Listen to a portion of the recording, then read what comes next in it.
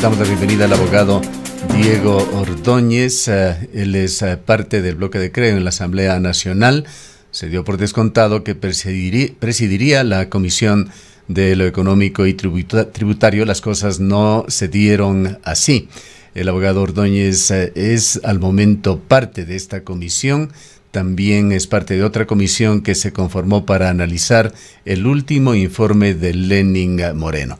Le damos eh, la bienvenida, abogado Ordóñez. Quisiéramos conocer su punto de vista sobre cómo se están desarrollando las cosas en la Asamblea Nacional. Guillermo Lazo, con una altísima aceptación en el país, del orden de un 70%, según datos, eh, sigue analizando el terreno antes eh, de eh, empezar ya con la propuesta de, medidas que puedan cambiar la situación, el marco legal, la, situación económica de los ecuatorianos, sobre todo en estos temas, en lo tributario, en eh, lo fiscal, en la economía ecuatoriana, más allá de las expectativas que generó, señalando que esto se trataría muy pronto.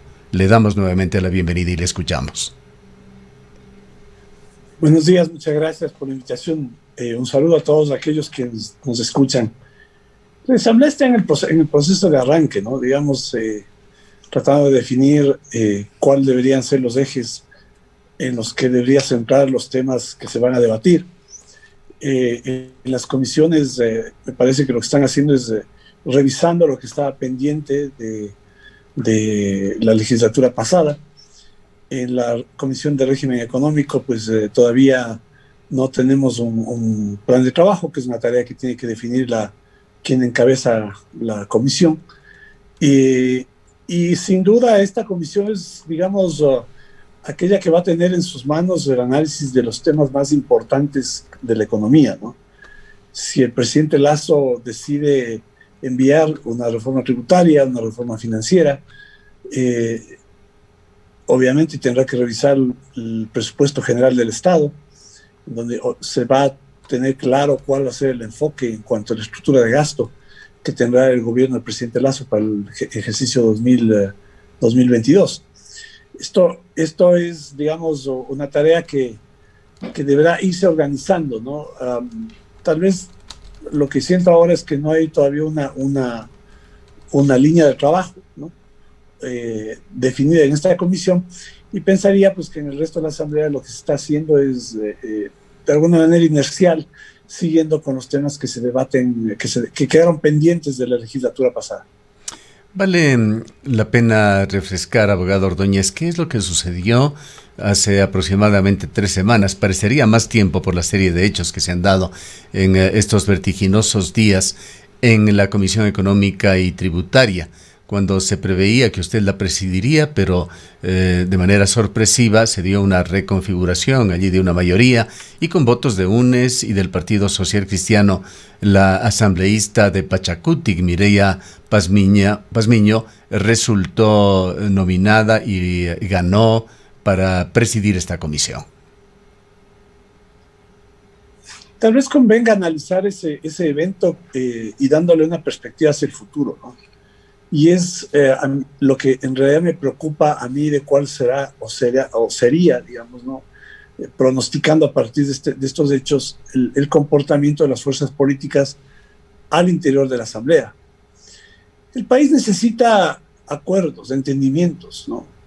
Y esto fue eh, lo que el presidente ratificó en su discurso del 24 de mayo y, diría yo, tuvo un relato, un diálogo con la presidenta de la Asamblea en términos parecidos. El lenguaje era la necesidad de eh, generar un espacio de gobernabilidad en la, en la, diferencia y las divergencias, transformarlas en lo, más, en lo más que fuere posible en acuerdos. Y esto que puede parecer retórico es sin duda una, una exigencia de este momento, ¿no? una circunstancia política, económica, social muy compleja que vive el Ecuador, no puede sino resolverse con la concurrencia de todos los sectores de un programa de, de, recuperación de la economía que tenga precisamente eh, la, la, virtud de representar a todos los sectores, no, no, no, unánime. Dicho esto, veo yo que el comportamiento que puede haber al interior de la Asamblea ¿no? es el de eh, reducir em, sus uh, actuaciones a agendas más bien de corto plazo y eventualmente agendas de, intereses personales o eventualmente de ciertas retaliaciones. El Partido Social Cristiano, es evidente, ha quedado muy, eh, y sus dirigentes han expresado pues, su, resentimiento por oh, que el presidente Lazo desistió de estar o participar en una eh, alianza absolutamente eh, inapropiada, por decirlo menos, una alianza en la cual el Partido Social Cristiano ha estado desde hace algunos años. ¿no? Este acuerdo con con el correísmo y el Partido Social Cristiano fue evidente, e intentaron que el presidente Lazo se sume a, esa, a ese acuerdo. El presidente Lazo no aceptó, se retira, eh, se retira de la alianza con el Partido Social Cristiano y eso pues lastimó o lastima la sensibilidad, ¿no? sin entender que se trata de una divergencia estratégica, pues reducen eso a un problema de naturaleza personal. Y esto se reflejó en la, en la comisión, cuando un asambleísta, muy joven asambleísta social cristiano eh, de la provincia de Los Ríos, que apenas tiene 22 años, hijo de un antiguo cacique local, ¿no? social cristiano en, en la provincia de Los Ríos, eh, propuso el nombre de la señora de esta, Pachacuti, y esto, a, esta, a esa propuesta se sumó el bloque correísta. ¿Por qué era importante esta comisión? Usted lo acaba de mencionar hace un momento. Por los temas que tienen que tratarse. ¿Y cuál es el problema? la dificultad. La dificultad es que quien hay, integra esta comisión ¿no? Eh, se eh, asume el cargo con el apoyo de, una, de dos fuerzas políticas que al parecer lo que buscan es algunas formas para retaliar o para obstaculizar contra el presidente Lazo y al gobierno del presidente Lazo. Y esto es lo que me parece a mí eh, que puede ser preocupante en términos de el futuro. Lo que pasó en esa, en esa, en esa comisión, visto en perspectiva, puede significar que eh, el presidente esté bloqueado ¿no? por, por, estos, por estas estrategias de, de obstaculización o de retaliación y esto dificulte pues que las medidas que tienen que tomarse se tomen oportunamente. Ahora, la mm, elección de, esta asambleísta de, de, y la reacción de Pachacutic dejó la lectura de que Mireya Pazmiño había traicionado a Pachacutic, pero justamente el día de antes de ayer se anunció que Pachacutic había reconsiderado y que María eh, Mireia Pazmiño volvía a sus filas. Sin embargo, el día de ayer la subcoordinadora de Pachacutic, la señora Velázquez, ha dicho que esa información fue falsa, pero sin embargo reconoció que sí se está reconsiderando la, la situación. Eh, esta pregunta es eh, relevante, pues eh, lo que quisiéramos es diagnosticar qué mismo está pasando en esta comisión que va a tener que jugar un papel sumamente importante en la Asamblea. La Comisión de lo Económico y Tributario es una comisión clave. los golpes de timón a la economía que pretenda dar el gobierno de Guillermo Lazo van a tener que pasar por esa comisión. ¿Cuál es su diagnóstico sobre lo que está sucediendo en, la comisión, sobre todo relacionándose con eh, la línea de acción que esta comisión mantendría con respecto al gobierno? En relación a lo que ha dicho la dirigencia Pachacuti, también yo debo expresar mi preocupación, porque eh, había un acuerdo en torno a la conformación de las comisiones que también eh, era consecuente con la designación de la señora Guadalupe Llori como presidenta de la Asamblea.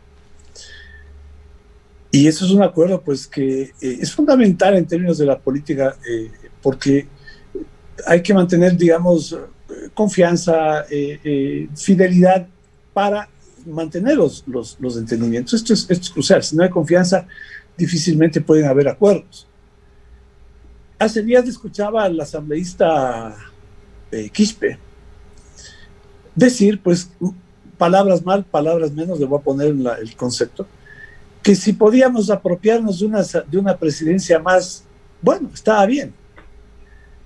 Con lo cual lo que estaba era haciendo una apología a la, a la deslealtad, porque eh, el movimiento Creo, el gobierno en esa alianza fue absolutamente transparente y disciplinado.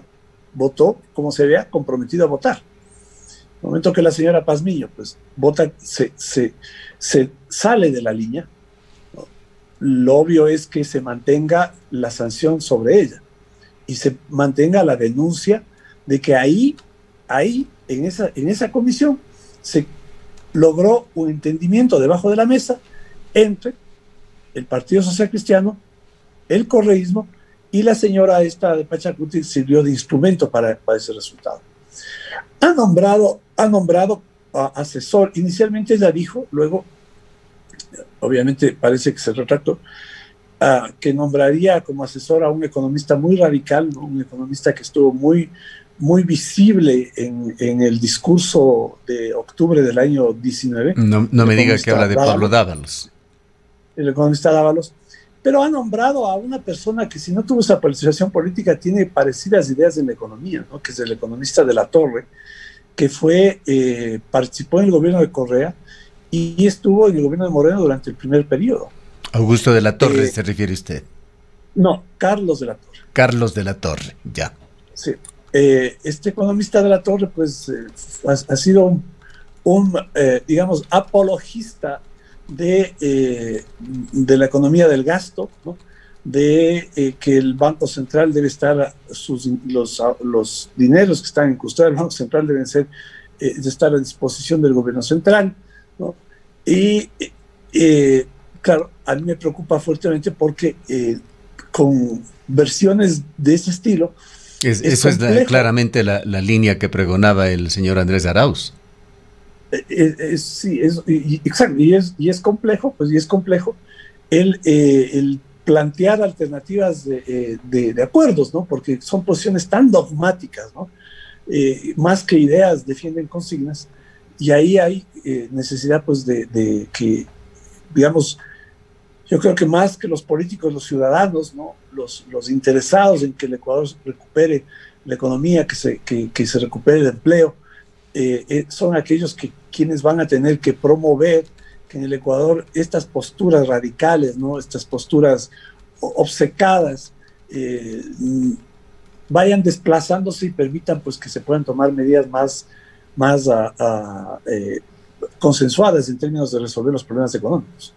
Ahora, toda esta incertidumbre que ha generado desde el primer día esta Comisión de lo Económico y Tributario aún no se ha reflejado en nada porque nada se ha tramitado aún a través de esta comisión, pero nos deja usted con eh, la sensación, abogado Ordóñez, de que esta comisión va a dar mucho que hablar. Yo creo que sí. Bueno, ya, hizo algo esta comisión, ¿no? Y es que eh, hubo un veto del expresidente Moreno a una reforma a la, a, la, a la administración de los impuestos, ¿no? de, sobre todo el impuesto al valor agregado. Este impuesto, esta, esta fue una iniciativa social cristiana que eh, eh, intenta que el impuesto al valor agregado quede eh, directamente en manos de los municipios lo cual puede ser, digamos, un mecanismo que eh, sea loable en términos de, descentralizar rentas. Pero lo preocupante es que al tiempo que se descentralizan esas rentas, no se descentralizan ni se desconcentran competencias. Y, por ejemplo, muchísimos municipios en el Ecuador, entre otros el de Guayaquil, no tienen competencias sobre salud y educación. Y el impuesto de mayor recaudación deja de pasar al, gobierno y ya queda en los municipios. Y al gobierno central le dejan con la competencia de salud, de educación, de seguridad pública, sin los recursos del impuesto de mayor recaudación. Esto fue vetado por Moreno con el argumento de ser inconstitucional, con lo cual yo estoy de acuerdo. Volvió esto a la comisión y en la comisión hubo casi unanimidad entre el correísmo entre el, Partido Social Cristiano para argumentar que se trataba de una decisión constitucional. Esta va a ser la tónica, esta va a ser la tónica. Y esto es un tema pequeñito, ¿no? Obviamente esto tendrá que ser resuelto por la Corte Constitucional. Sin embargo, de eso, pues vendrán otros proyectos en donde va a primar, eh, Gustavo, va a primar más el interés político. ¿Por qué, ¿Por qué señalo esta, este, este ejemplo sobre eh, la legislación en la que tiene que ver con la administración del, impuesto al valor agregado, es porque eh, hay organizaciones políticas, entre el, caso del Partido Social Cristiano, que eh, asienta su poder en, en, ciertos poderes locales. Entonces, para mantener ese poder en los poderes locales, pues necesita los recursos. Y no importa cómo manejar la política tributaria y la estructura de gasto y de ingresos del presupuesto general del Estado, sino lo que interesa es el poder local. Y entonces vamos a tomar el, dinero para mantener el control del poder local. Y esa va a ser la tónica. Y eso es lo, a lo que me refería hace un momento en relación con el que se impongan eh, agendas políticas, eh, eventualmente intereses personales sobre aquello que debe ser debatido con una perspectiva del interés nacional. De alguna manera se podría considerar que esta comisión de lo económico y tributario va a ser una especie de, isla en la asamblea cuando hay estas ah, intenciones aparentes entre la presidencia de la legislatura de trabajar en forma coordinada con el gobierno de Guillermo Lazo. la presidenta de la asamblea, yo confío en, en lo que ella ha dicho y me parece que lo que planteó el 24 de mayo fue digamos, eh, una expresión genuina y, auténtica, ¿no? De, deseo de colaborar en términos de gobernabilidad. Eso no quiere decir que la presidenta de la Asamblea haya dicho pues que va a haber una... no, es un allanamiento. Eh, no, pues dice, pues, hay que discutir, hay que debatir, pero fundamentalmente tiene que existir este, este mecanismo de diálogo, ¿no? En el diálogo tienen que haber dos características, en mi opinión. La primera, la intención. No hay intención, no, no, la gente no quiere dialogar. Y la segunda es la buena fe. Y la buena fe tiene que ver con la agenda de lo que se debate. Si el correísmo tiene intención de, acuerdos, así lo ha dicho, ¿no? Hay muchísimos que se han maquillado ahora de, muy demócratas, ¿no? De muy abiertos, conciliadores, pero ¿qué está por detrás de eso? La intención de la impunidad. Entonces no hay buena fe, no concurren los dos, requisitos. Ni hay intención, pero no hay buena fe. Tenemos que tener los dos elementos. ¿Y la buena fe tiene que, con qué tiene que ver? Con el hecho de que prioricemos lo que debe interesar al conjunto, al conjunto de los ecuatorianos. Y tiene, eso significa pues que vamos a tener que encontrar eh, mecanismos en los cuales, eh, a, los cuales vamos a llegar cediendo. El arte de la negociación va a ser eso, el arte de ceder. Acá usted tenía hace un momento una, una entrevista en donde analizaba los, las, eh, unos, digamos, líneas ¿no? de lo que podría ser la propuesta de reforma tributaria que ha presentado el ministro de Economía, Simón Cueva. ¿no? Eh, ¿qué, caracteriza esa, esa, esa, propuesta? ¿no? Caracteriza, digamos, una definición de roles. El primero, el rol del Estado. El rol del Estado tiene que hacer, en estas circunstancias aún más, una política social eficiente. ¿Y qué es la política social? La política social no es una política clientelar. La política social es una política que atienda las necesidades de los que más necesitan. Valga la redundancia. ¿Y qué necesitan los que más necesitan? salud, salud de calidad, educación.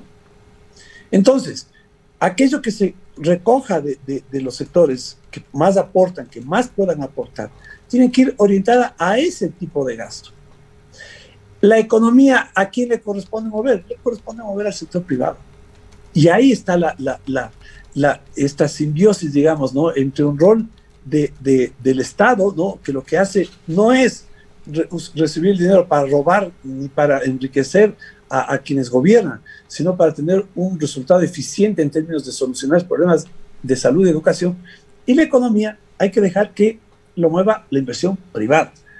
En esta, esta, esta, esta combinación de estos dos elementos es fundamentalmente lo que tiene que ver con eh, eh, los mecanismos de recuperación de la economía ¿no? y además de atención de los problemas de, de los sectores vulnerables no, no, no con subsidios a los ricos, no con subsidios que lo que hacen es hacer que empresas o actividades económicas lucren de lo que el resto de ecuatorianos eh, eh, deberían recibir como, como, como en, política social. Me refiero a subsidios a, los, a, los, combustibles. Esta, esta comprensión ¿no? de la necesidad de reorientar esta, la economía para que los recursos vayan en realidad a aquellos que necesitan y la economía esté en manos de, la inversión y la promoción y el emprendimiento privado, es lo que me parece a mí debería movernos eh, en términos de eh, eh, las decisiones políticas, de política pública y legislativas que garanticen que esto se pueda, que se pueden impulsar. Pasemos a Abogado Ordóñez, brevemente a otro tema que le toca a usted analizar en la Asamblea. Entendemos que ha sido nombrado como parte de la comisión para analizar el último informe del expresidente de la República, Lenin Moreno, que dicho sea de paso, se lo entregó con cuatro días de retraso. Lenin Moreno terminó muy mal, con una ínfima recuperación en sus cifras, pero mm, en eh, eh, un mayor plazo, en una perspectiva más amplia, habrá que ver cuál es el juicio de la historia sobre Lenin Moreno. ¿Ha podido revisar, por lo menos eh, así sea superficialmente, usted algo de este informe? Sí, sí lo revisé. Es un informe de más o menos 120 hojas. no es un informe en realidad, ¿sí? No es un informe, digamos, es un ensayo, ¿no? Que yo lamento muchísimo que el expresidente Moreno no haya dejado ¿no? una, una, evaluación. Obviamente es se supone que es el informe del último año, pero siendo el último informe, normalmente contiene la evaluación de todo su gobierno. Y me parece a mí que eh, lo que menos oh, tiene eso es una evaluación de esos cuatro años. Y a mí me parecía importante ¿no? que a partir del análisis de este informe, revisemos eh, cuál fue el estado de la economía en el 2017, a la finalización del gobierno de Correa, porque era muy importante el que un informe establezca sobre todo una referencia objetiva con cifras y evolución de las cifras. Evolución de las cifras.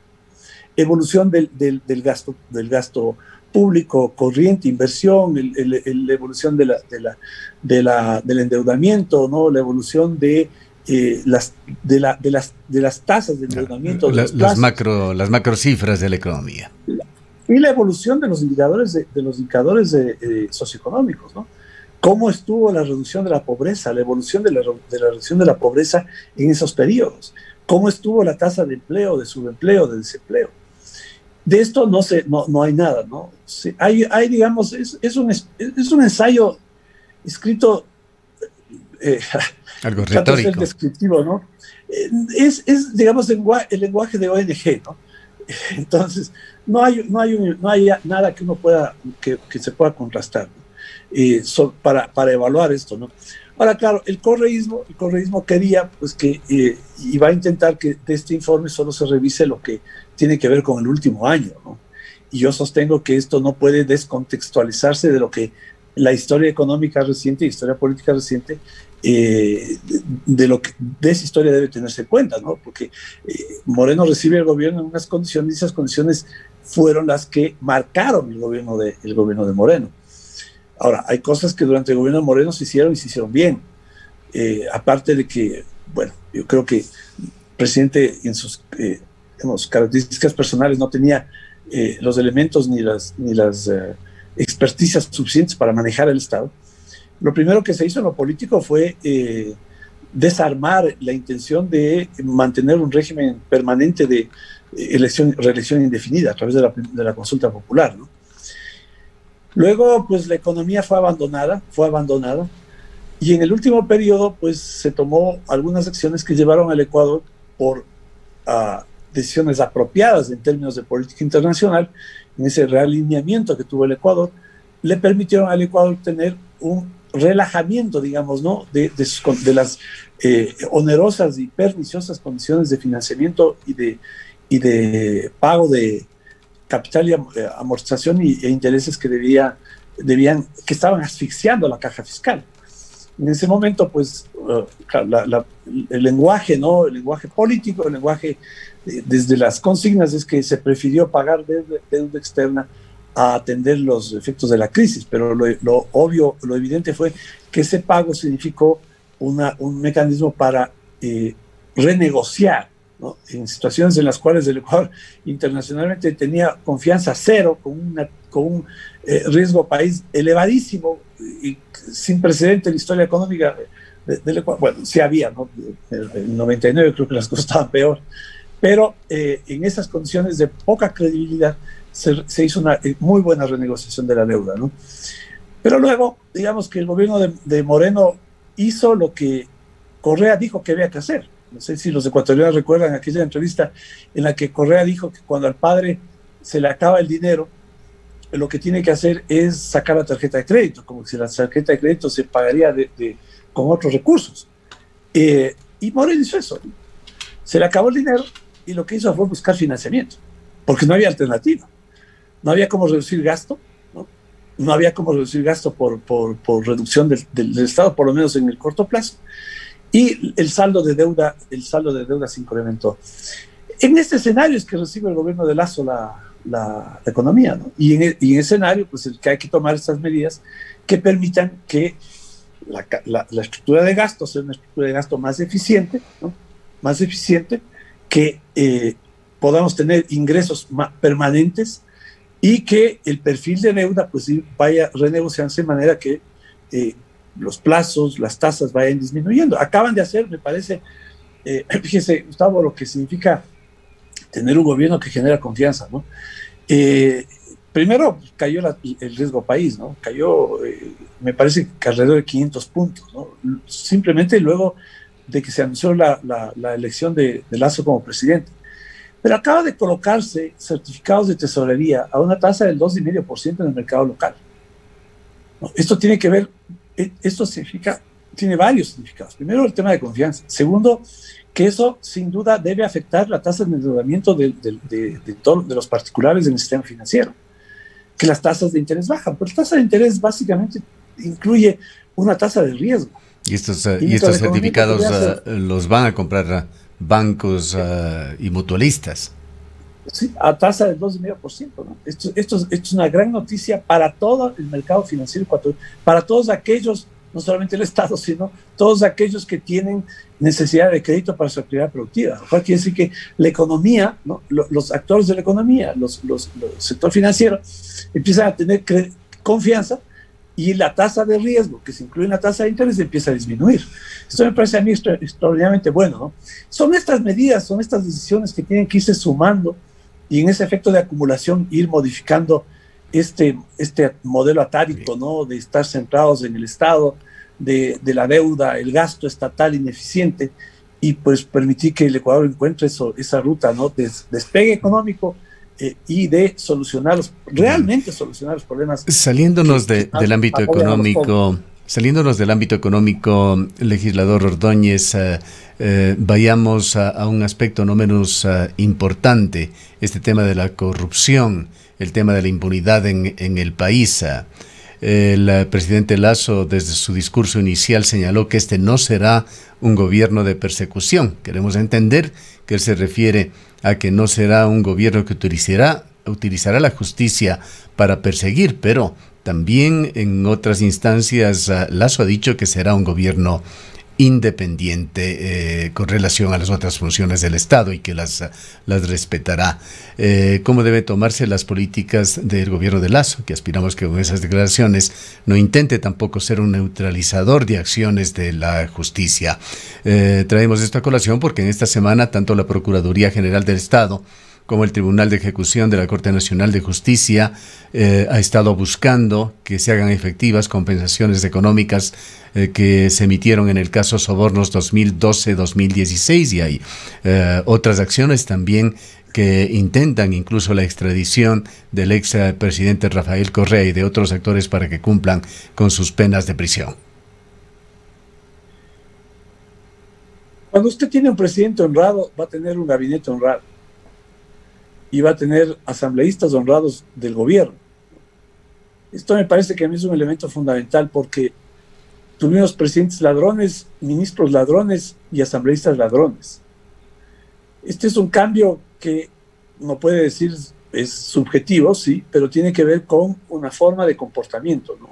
una, la cultura en la cual se va a desarrollar la acción de gobierno y la extensión de el, la acción de gobierno en la legislatura a través de los asambleístas del bloque de Creo. Esto, esto es un primer elemento, ¿no? Uno segundo. Lazo es un hombre de, de instituciones, ¿no? Lazo es un hombre de instituciones. Eh, se ha reunido ya con el presidente de la Corte Suprema, con la presidenta del Consejo de la Judicatura, con el procurador del Estado. Y el mensaje ha sido el, el mismo, ¿no? Ha sido el mismo. Tenemos que alinearnos para defender las instituciones y garantizar la independencia en las, en, en, las funciones y en las tareas que les corresponde a cada uno. Ese es el mensaje. Y ha sido muy enfático, muy enfático, ¿no? E incluso llegando al detalle, ¿no? De, de, de, mecanismos de comunicación para evitar la interferencia política, ¿no? La manipulación política, gente que eventualmente puede, puede pues, introducirse ahí y pretender eh, hablar a nombre de, de, de, alguien más, ¿no? Eso, eso, a veces sucede. Ha sido absolutamente detalloso incluso en eso. Cuando Lazo dice no, hay, no habrá persecución, lo que está tratando de decir es precisamente en consecuencia que lo acabo de mencionar, que el poder político, el poder político no interfiere en la administración de justicia. Y esto es un mensaje que debe llegar a aquellos que pretenden usar el discurso de la persecución política como una coartada para la impunidad. Y tiene que llegar también a todos aquellos que hacen opinión pública local e internacional para que lleguen a la conclusión de que las decisiones que toma la función judicial, sea el Consejo de la Judicatura, la Corte Suprema, la Fiscalía, o los organismos de control, como la Contraloría, o el organismo que representa legalmente al Estado ecuatoriano, como la, la Procuraduría, corresponde a el ejercicio de competencias legales y a referencias en pruebas, en hechos y en evidencias, y no en decisiones de naturaleza política. Por el contrario de lo que algunos pretendían escuchar, ¿no? en el sentido de que aquí de lo que se trataba era de eh, darle un, mensaje al correísmo, ¿no? de que eh, la presión sobre la corrupción va a disminuir, al contrario. Al contrario, la lectura tiene que ser exactamente en el sentido eh, opuesto al que a esa conclusión. Porque aquellos que intentan pensar que pueden argumentar que las sentencias o las investigaciones que, se, que, están en curso o las posibles nuevas sentencias en actos de corrupción que involucren al correísmo, que involucren incluso al gobierno que acaba de terminar, pueda deberse a, a persecución política, que se guarden el argumento porque eso no es verdad. Va a, haber, va a haber absoluta independencia y tiene que haber absoluta independencia y todos debemos tener absolutamente claro que lo que se hace en la función judicial corresponde a evidencias, pruebas y al debido proceso. Bien, muchísimas gracias por habernos atendido. Muchas gracias, buenos días. Declaraciones del abogado Diego Ordóñez, asambleísta de CRE.